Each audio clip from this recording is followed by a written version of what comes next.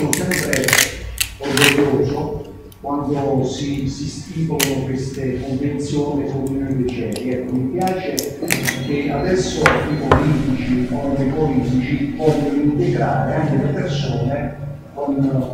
con la nostra patologia, ecco, cieco i polivalenti, perché hanno capito che i cieco e i sono anche loro capaci di integrarsi nel tessuto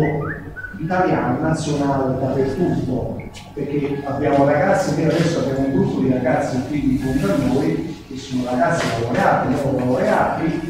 ragazzi che stanno già lavorando e quindi hanno preso a cuore anche questo tipo di progetto, perché anche loro vogliono fare questa esperienza perché io come detto da un maestro per non avevo nessuna ricognizione di queste, di queste pietre, come adesso l'ho toccato, questo è veramente una cosa molto bella, molto importante. Ecco, integrarmi in questa cosa qua veramente molto, molto bella. E quindi penso che anche i ragazzi che vogliono fare queste esperienze, grazie a voi, usciranno, usciranno a fare veramente qualche cosa di bello. Eh, a nome mio, a nome della ragazza, a nome dei ciechi cosentini, voglio ringraziare alla direttrice, al Presidente, alla Creatrice perché avete scelto la mia associazione come, come, dire, come eh, lancio per questo progetto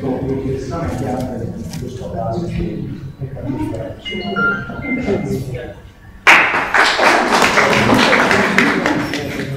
Grazie, io ovviamente solo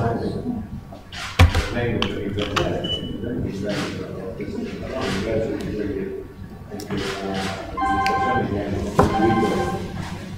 a portare avanti le partite e non che sono costruite perché l'interesse nostro è il modo della città la quinta del territorio abbia una amministrazione perché questo è un ritorno che ha soprattutto il territorio, perché noi diciamo con tutte le questioni che abbiamo affrontato riguardano l'accessibilità culturale, che riguardano l'attività, poi sono un po' ad una platea che è ancora negata, il tempo c'è la vita, quindi si costituisce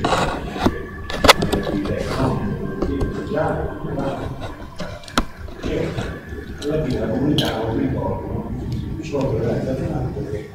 tutte queste attività